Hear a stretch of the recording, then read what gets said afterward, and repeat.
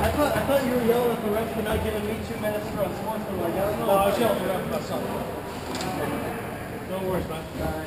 Hey, you have a good one.